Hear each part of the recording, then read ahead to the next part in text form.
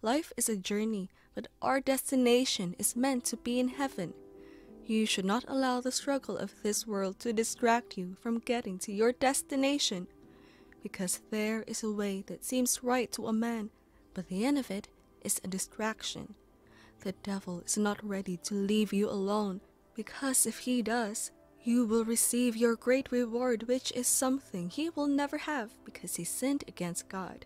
God created you for a reason. He brought you into this world for a purpose. You were not just sent into this world to enjoy yourself. Inasmuch as we need money to survive, we should understand it is not the ultimate thing in this world. Distractions may stop you from achieving what God wants you to achieve if you are not determined in your heart to resist the devil. Jesus himself was tempted by the devil because the devil knew that he was about to do something great on earth, which is to bring salvation to the world. First of all, the devil knew that Jesus was hungry because he had just finished fasting for 40 days and 40 nights. The devil told Jesus to turn stones to bread so that he will eat, but Jesus replied, Man shall not live by bread alone. I want you to understand that the devil does not use those things that you do not desire. He uses things that you long for to distract you. And therefore, you must subdue your flesh if you must resist the devil because he uses things that the flesh wants to get our attention. You have to come to that point where you can easily say, just like Apostle Paul said, that for me to live is Christ and for me to die is gain before you can stand and get distracted by the devil. The devil can use the challenges of life to make you feel that God has forgotten about you, but that is not true. God has a plan for you, and those plans are of good and not of evil that will bring you to your expected end. God did not promise us a smooth road as we journey into this world. Rather, He promised that He will be with us every step of the way. You may be going through a difficult moment and it may look like God has neglected you. I plead with you to still hold on to God because He will come through for you. He knows what you are going through, and if you do not give up, you will not be put to shame. So many people have been deceived that there is an easy way to have a better life without the help of God, and because of desperation, a lot of people have sold their souls to the devil do not be like them. There is gain in waiting for God's perfect time because when the Lord blesses a man, he is blessed indeed, and nothing and no one can take that away from him. The devil does not have anything to offer you, so do not get distracted by him because whatever he promises are lies. There are people in the Bible that allowed themselves to get distracted by the devil, and there are other people that stood their ground and we saw that the Lord gave them victory in the long run. Let's take the story of Judas Iscariot, for instance. Judas was a man that had a privilege that most people were looking for but did not get. He was selected by Jesus to be part of his disciples, and he was always with Jesus. He was opportune to sit and be mentored directly by Jesus, but along the line, he was distracted by the devil, and that destroyed his life. Judas did not understand that when you have God, every other thing will automatically be added onto you. That was why he agreed to betray Jesus for a little amount of money. He agreed to sell Jesus for money to be killed. How wicked the devil can be.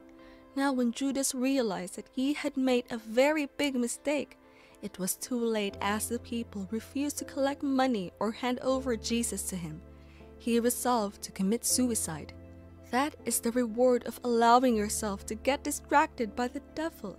The devil knew that if he allowed Judas, he would have done an exploit for the Lord as other disciples, such as Peter did.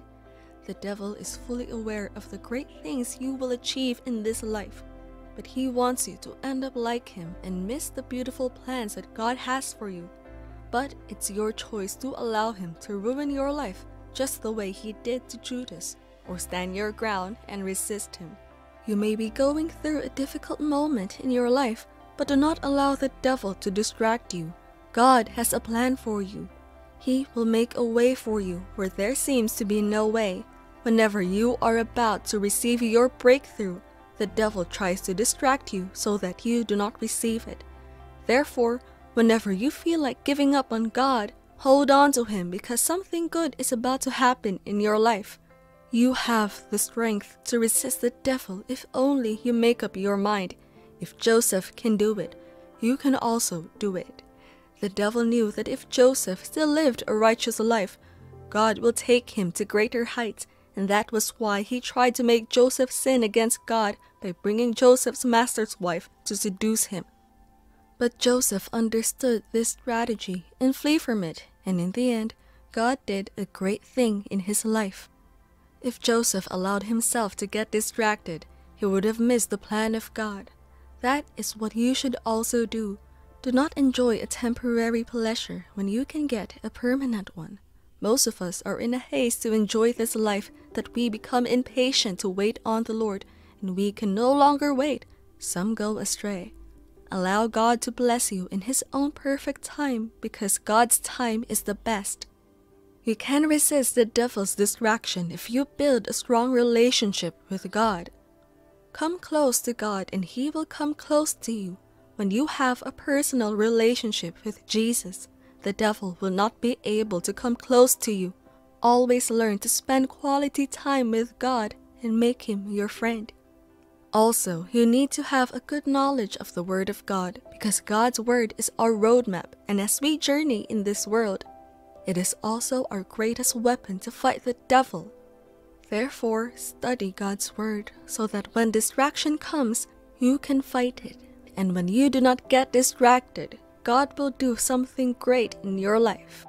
We need to understand that on our own, we can't make it or do things.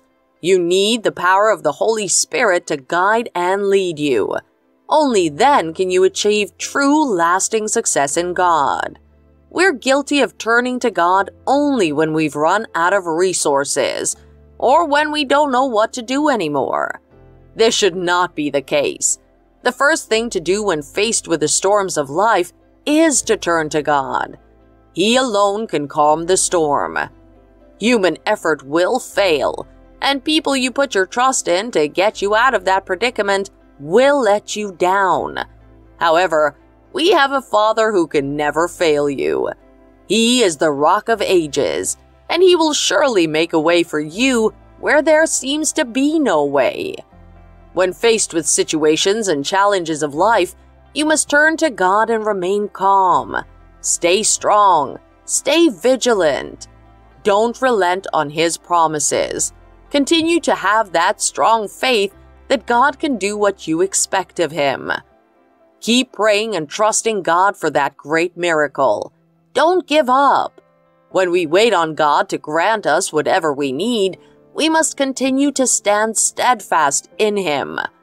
One way to do this is to keep seeking God through prayer and the study of His words.